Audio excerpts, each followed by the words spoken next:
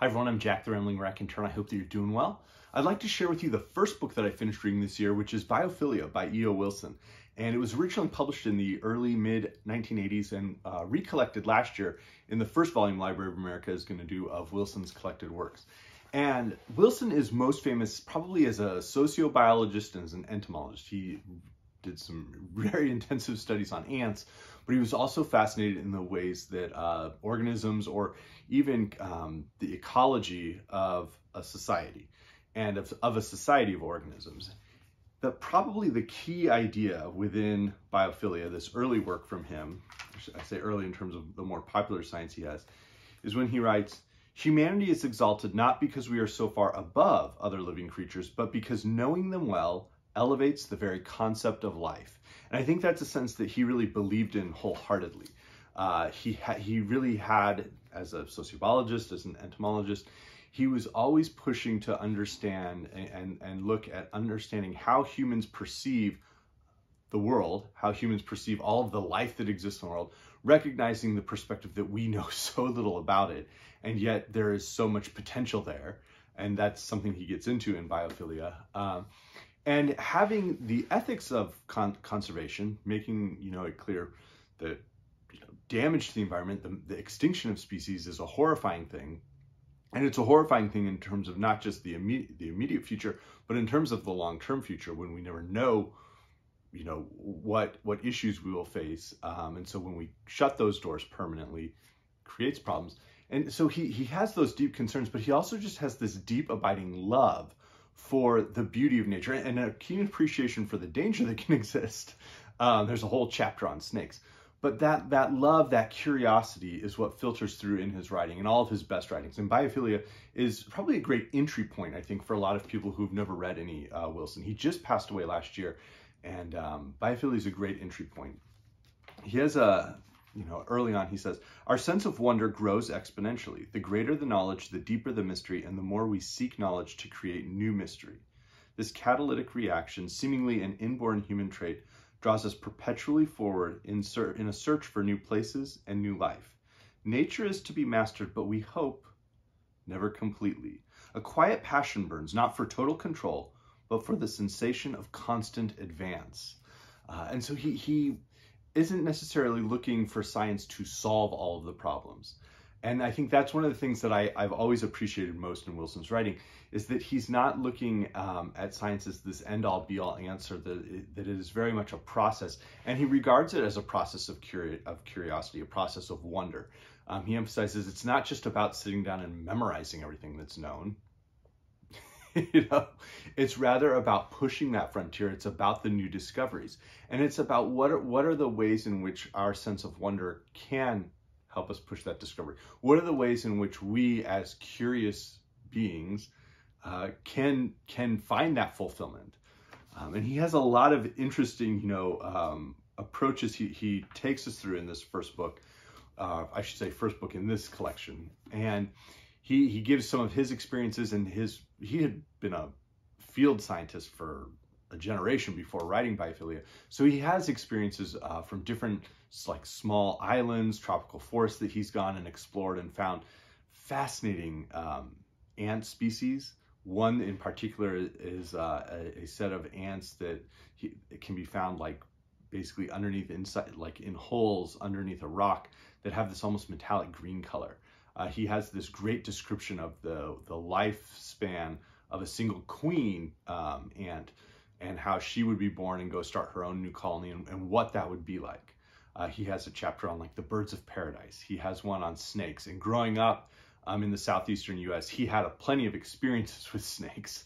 Um, but so so he filters all of these experiences in, but it's always with this question around wonder, this question around um, what is that connection? Like as humans if we can perceive life if we can perceive the environment if we can perceive life on earth what responsibility comes with that? And it leads to some uh, fascinating ideas around conservation and critical ideas around conservation but it also leads to some just fascinating uh, concepts around how humans think. And this was uh, another sort of tack in that sociobiology he was interested in. He writes, The mind is biologically prone to discursive communication that expands thought. Mankind, in Richard Rorty's expression, is the poetic species. The symbols of art, music, and language freight power well beyond their outward and literal meanings. So each one also condenses large quantities of information. And he goes on and gives um, examples of this. Uh, the symbols of art gather human experience into novel forms in order to evoke a more intense perception in others. Human beings live, literally live, if life is equated with the mind, by symbols, particularly words, because the brain is constructed to process information almost exclusively in those terms. And he and that's within a chapter entitled The Poetic Species. And he's fascinated by these ideas that science could inform art. Art should inform science. The, the, the, the sense of pushing forward that an artist has as a creator um, is something that a scientist should have. And he, he, uh, he identifies, you know, you, you need to have the, the diligence of a clerk, being able to sift through data and being very diligent and honest with that, but also have that sense of inspiration and curiosity that are true in, in artists as well. And so to find a scientist willing to embrace so many different aspects of the way our minds can be curious, the way our minds can wonder, and then to combine that with his deep understanding of science, his uh, deep appreciation for the environment is just a fascinating, you know, book to read. Um, and then towards the end, he notes, I've argued in this book that we are human in good part because of the particular way we affiliate with other organisms. And he uh, goes on, to the extent that each person can feel like a naturalist, the old excitement of the untrammeled world will be regained. I offer this as a formula of reenchantment to invigorate poetry and myth. Mysterious and little known organisms live within walking distance of where you sit splendor awaits in minute proportions. And that certainly is, you know, an idea that I try to foster uh, for my, my own self and with our daughters, this, this sense of being curious, being curious around what's in the backyard, being curious about what we see in the front yard. Um, and, and being curious, you know, when, when we're outside, trying to find the little pieces uh, that can can stimulate our minds and can cause us to perhaps consider the world and consider perspective in a different way. So I would highly recommend just reading from Wilson. Um, and Biophilia, whether in this volume or on its own, is just a great short uh, intro to the, the unique mind that Wilson had. As a scientist, you know, writer of science, a scientist writer, I, I will say I found Loren Eiseley, I think, to be an even stronger proponent of that that sense of poetry that exists in life, that sense of that that creative spark, that inspiration, that wonder that can exist. Um, I think Loren Eiseley possessed that just as well as Wilson. I think he captured it slightly better in his writing um, and, and, had a, a, real sense of poetry in his writing. Wilson just shares just such an infectious curiosity. Uh, another great, you know, um, natural historian would be Stephen Jay Gould. His essays uh, have been published in a whole series of about like 10 or 11 volumes and those make for great, great reading. And and I would say that Wilson's writings are probably at a slightly more scientific level than um, Eiseley's, and maybe slight. He uses probably more species names than uh, Stephen Jay Gould, but he uh, and he probably goes into theory at a deeper level than Gould. But if you've really enjoyed Stephen Gould and you've never tried out Wilson, I would certainly recommend that.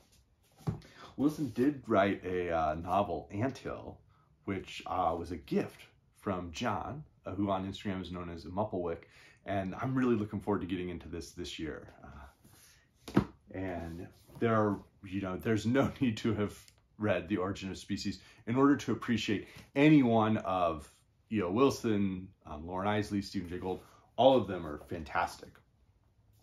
But with Wilson's deep, abiding curiosity and interest with ants, it did make me off, uh, send me off to reread Leiningen versus the Ants. One of my uh, favorite favorite stories from school, but also just a an almost comical story in terms of uh, what happens. That was written by Carl Stephenson, uh, but I have it in this Great Tales of Terror and the Supernatural about this group of ants that's going to wipe out a farm and what's the farmer going to do. So uh, let me know if you've read Wilson, if there are other um, you know uh, science writers you enjoy, particularly um, writers on ecology, um, biology. Wilson was writing in the aftermath, of course, of Rachel Carson's fantastic Silent Spring, a critical work. Um, but he he certainly spent much of his life trying to continue uh, many of those those ideas around conservation and responsible, um, you know, ecology and consumption that she was pushing forward um, earlier. So, hope everybody's having a great year. Thanks.